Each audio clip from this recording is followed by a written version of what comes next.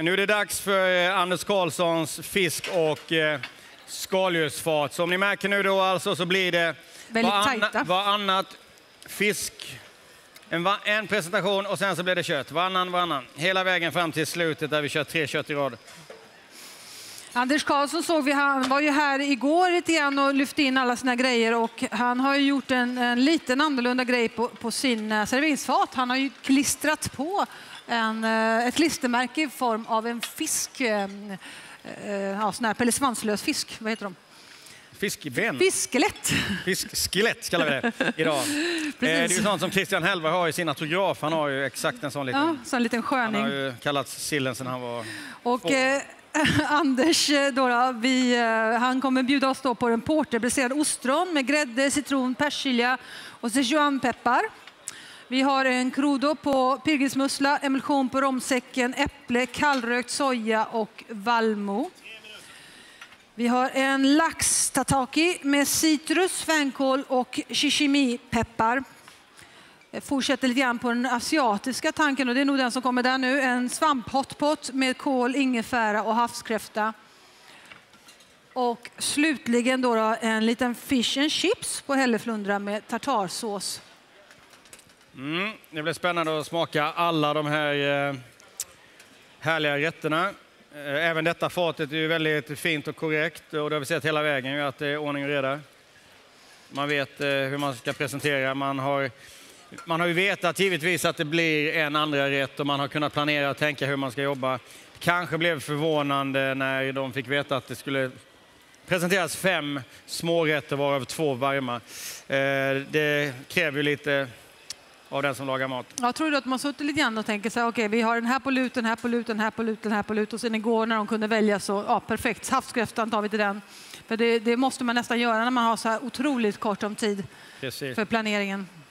Och det enda de kan göra när man jobbar så här tajt med tid så, så ska saker och ting stämma och så måste man ha då sin eh, mise en place helt klar när det ska kommas ut. Definitivt. Och eh, nu ser vi tiden ticka på. Det är 51.41, alltså det är 1.30. Åtta nu. kvar, 36 går det neråt. Har vi några flaggor som hejar på Anders här, Karlsson i publiken? Ja, några stycken. Ja, där uppe, på, högt upp på läktaren har de satt sig. Och eh, vi vet ju, har de flaggor så har de ju druckit eh, mjölkdrinken. Ja, precis. Och han ser Vi, väldigt lugn eh, ut. Anders är väldigt lugn, men det har han varit i alla de tävlingarna vi har sett honom i och det brukar fungera väldigt bra. Eh, nu drar vi oss tillbaka, det är en minut kvar eh, innan Anders ska vara färdig med första lägget. Om 50 minuter kommer vi se Anders Karlssons lammanrättning. Och Emma Erlandsson i kök nummer två, hon är bara 10 minuter bort med sin lammpresentation. Så i eh, väldigt hög fart nu. Ja, på de här fem små rätterna får vi ta en riktigt snabb genomgång. Ja. Eh, det blir snabba genomgångar maten. Vi har som sagt var inga recept på fisk och skaldjursrätterna utan eh, det vi jobbar efter är rubrikerna som eh, de tävlande har skickat in eller lämnat in igår då till eh, tävlingskommittén. Och eh, utifrån de här rubrikerna så det har ju plockats råvaror som ska stämma överens och man får inte byta ut eh, några huvudingredienser. Man kan ändra smaksättningar lite grann om man vill, men absolut inte ändra huvudingredienser eller tillbehörs.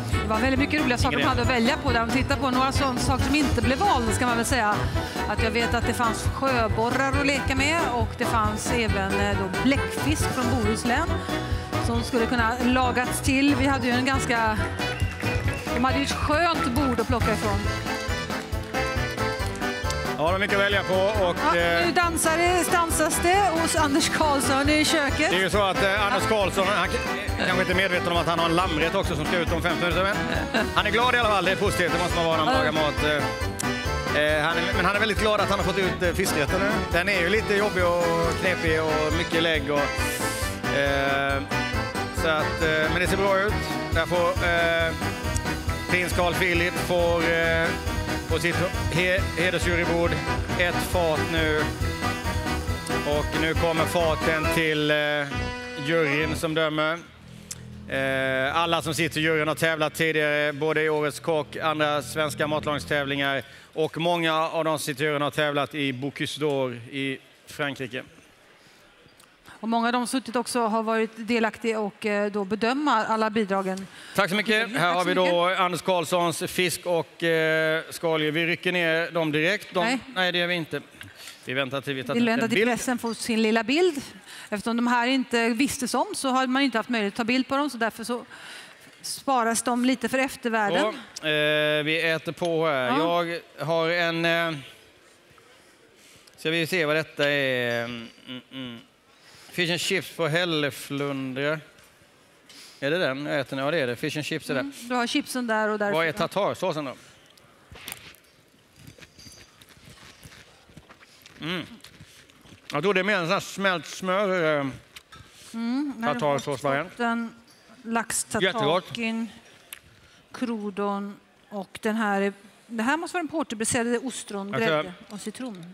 Så har vi den här hot, svamphotpot med eh, är det, små shiitakes. Väldigt balanserade, välbalanserade smaker. Det är intressant med,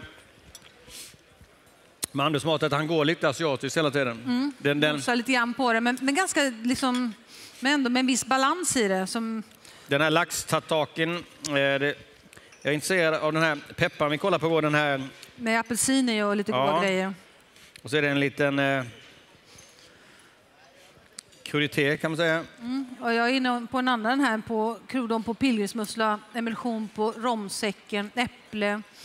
Det är den som ligger där, jag måste få med lite grann av den också. Och eh, kallrökt soja och vallmo i den här. Vallmo är lite kul att det kommer in. Ja, jättegott. Det är, den tydliga linjen är helt klart i Anders Karlssons eh, mat. Det är, det är lite asiatiskt eh, som är med och det är jättegott. Eh, fräscha smaker. Han eh, är ju den som är, känns mest djärv i smaksättningen. Det är några andra finalister som sticker ut. Men jag tror Anders är den som eh, vågar ta dem Heller Eh. var ju helt underbar där. Den var ju perfekt tillagad. väldigt, väldigt god. Och den här hotspoten här, den är ju...